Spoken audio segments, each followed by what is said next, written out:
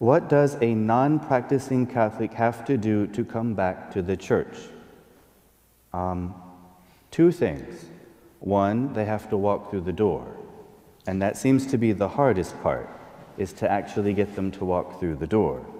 The second thing that they need to do is just go to confession. That's it. Once they've done that, there's nothing stopping them from receiving communion. There's nothing stopping them from going back to the regular life of the church. Walking through the door seems to be the hardest part.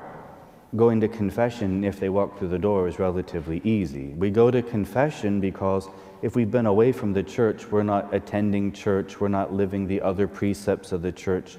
Then when we make a good confession, we wipe the slate clean. We're starting completely over. So when a non practicing Catholic wants to get back into the spiritual life of the church, all they have to do is go to confession and they're back where they started as if they never left. It's an opportunity to start fresh. Same thing when we are good quality Catholics who go all the time, but still find ourselves in mortal sin. It's the same kind of thing. We go to confession, we wipe the slate clean, and we start again.